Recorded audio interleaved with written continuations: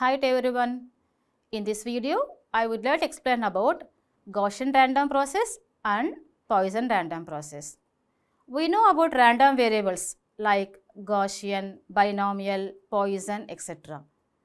In that, we have classified as continuous random variable as well as the discrete random variable.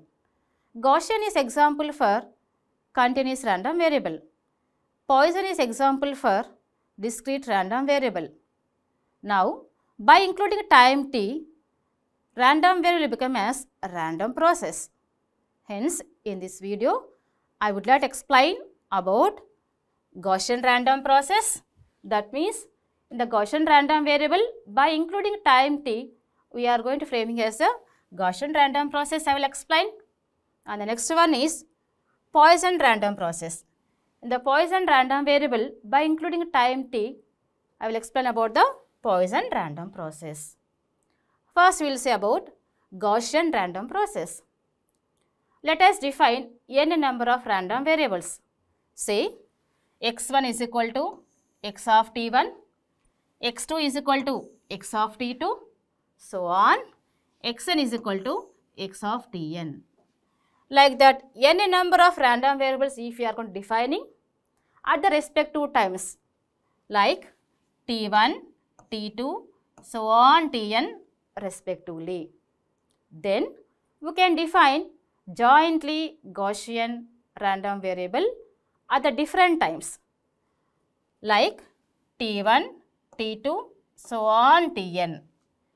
Like that by including the time t in that the respective Gaussian random variable become as a Gaussian random process.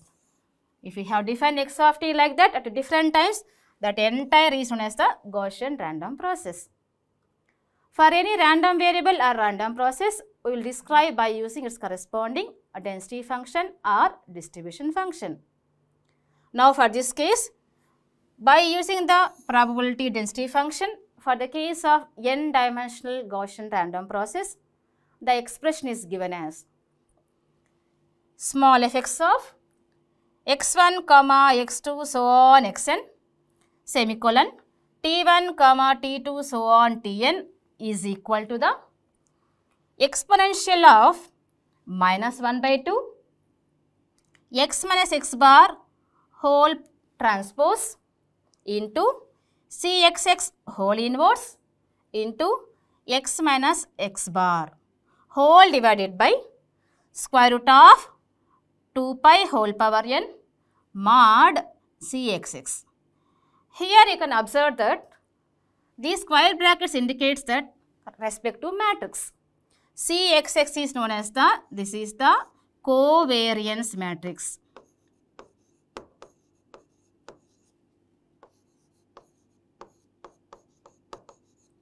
And this x bar is nothing but the mean of the random process x of t at the respective time.